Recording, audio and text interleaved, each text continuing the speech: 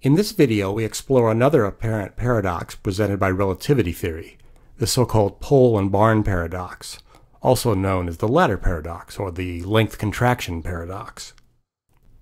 Suppose we have a red pole and we have a blue barn. The pole's length is 2 and the barn's length is 1.6. The pole is longer than the barn. Let's refer to the left side of the barn as the front door and the right side as the back door. The right side of the pole we'll call its head and the left side its tail. Since the pole is longer than the barn, if we throw the pole through the barn at some velocity v, some part of it will always be visible. At any given time, the barn can hide the pole's head or its tail, but not both. Obviously, a barn cannot fully contain a pole that is longer than the barn. At least that's how things work in a non-relativistic world. But the coordinate transformations we developed in video 2 of this series tell us that if you and I are moving relative to each other, then two events you perceive to take place at the same time, I may perceive to take place at different times. Moreover, the coordinate transformations contain a dilation factor beta. To be specific, we'll assume a velocity of 3 fifths the speed of light, which gives a dilation factor of 5 fourths. If we naively consider only the time coordinates, this implies that if I measure a time interval delta tau, you measure a time interval delta t that is larger than what I measure by a factor of 5 fourths. But from my point of view, my time interval is larger than yours by the same factor. So we seem to have the absurd prediction that two time intervals are each larger than the other. We saw the resolution of this in the twin paradox video. Likewise, if we naively consider only the space coordinates, it appears that if I measure a distance delta xi, you measure a distance delta x, which is larger by a factor of 5 fourths. At the same time, I see my measured distance as being larger than yours. Again, we have an apparent absurdity, two lengths, each of which is longer than the other. Relativity tells us that the absurdities are an illusion that arises from naively thinking about space and time separately. As an illustration of what can happen when space and time get mixed up, consider this hover toy gliding across my floor and underneath a wooden beam. The toy is wider than the beam. So, even though any particular point on the toy will at some time be hidden by the beam, the entire toy cannot hide behind the beam at a given time. With a little video processing, however, we can make it appear that for a moment the toy is fully hidden by the beam. We see the front end disappear, followed by the back end, and only after that does the front end reappear. To create this illusion, we first delete the right half of the video. Then we take a time-delayed version of the video and delete its left half. By stitching these two halves together, we create a video in which events on the left side actually happened after the apparently simultaneous events on the right side. This makes it appear that the hover toy completely disappears behind the beam. According to relativity theory, an analogous effect comes into play when a rapidly moving object is observed, making the object appear to contract in the direction of motion. Back to our pole and barn scenario, we consider the barn to be at rest and use Latin letters for its coordinates. Specifically, the front door is at x equals 2.4 and the back door at x equals 4. The pole is moving at 3 fifths the speed of light, and we use Greek letters for its coordinates. Specifically, the tail is at xi equals 0, and the head at xi equals 2. Plotting the relation between the coordinate systems using blue for the barn and red for the pole, we get the sort of space-time diagram we've seen in previous videos. The numerical labels apply to the blue coordinates. Recall that the green line with slope of unity represents the speed of light. The back door is located at x equals 4 and the front door at x equals 2.4. The tail is at xi equals 0 and the head at xi equals 2. In the barn frame at time t equals 4, the pole head will coincide with the back door and the pole tail with the front door.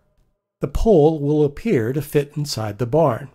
From the pole's perspective, these events happen at different times, tau equals 2 and 3.2 respectively. Let's now use a space-time diagram to visualize the pole's journey through the barn from the pole's perspective. The thick blue lines represent the closed back door and closed front door. At time t equals 4 in the blue frame, the back door opens and the front door closes. At a given time in pole coordinates, the pole occupies the thick red line. As it moves through time, its head eventually arrives at the back door, just as it opens. The pole continues through the barn, and eventually its tail passes through the front door just as it closes. Now let's abstractly animate what this would look like from the pole's perspective. The pole's head is on the right and its tail is on the left. We put five clock lights on the pole that flash in unison every second of pole time. The head and tail clock readings are also shown numerically. The barn is represented by a rod with the back door at right and the front door at left. An additional ball is used to indicate when a door is closed. No ball indicates an open door. The pole's head enters the front door, passes through the barn to the back door just as it opens. Then the tail reaches the front door just as that closes. Notice that the lights flash in unison.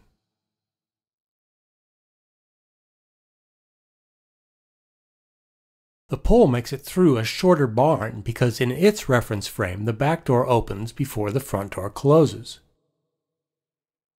Now let's look at things in the barn's reference frame. At a given barn time t, the pole occupies the vertical thick red line. It appears contracted enough that the whole thing can fit inside the barn at time t equals 4 when the back door opens and the front door closes. The barn sees the contracted pole approaching. Notice that the pole's lights don't flash in unison. The entire pole enters the barn, the back door opens, and the front door closes.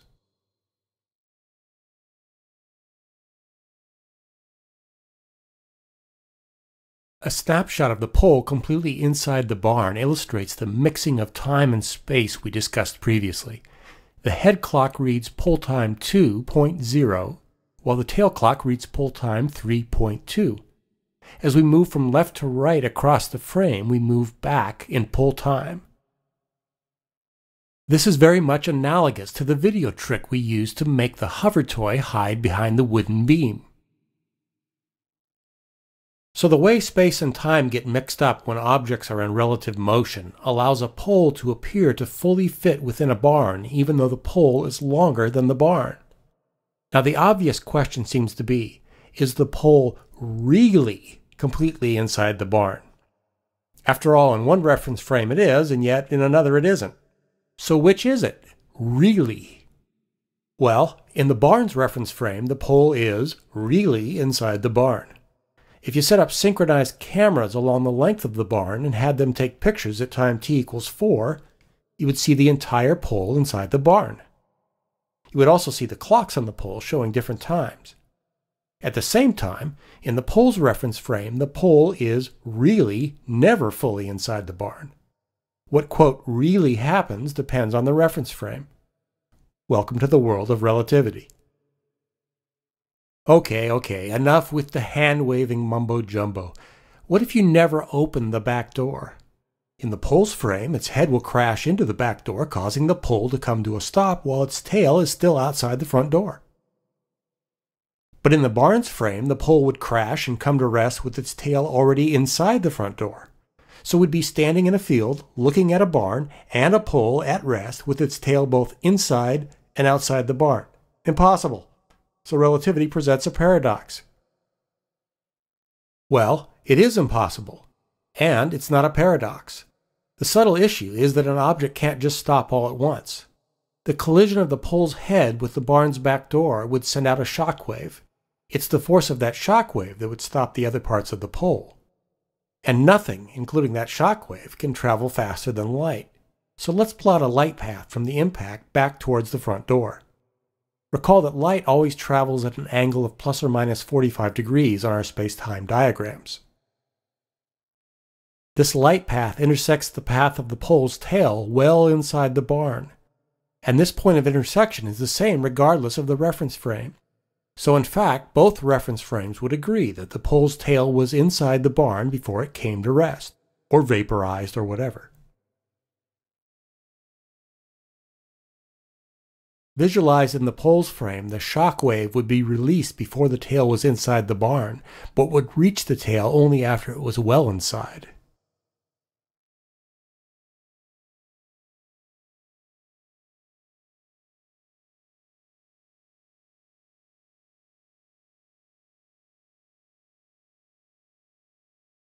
In the barn's frame, the shock wave would be released just as the tail entered the front door and would reach the tail when it was well inside.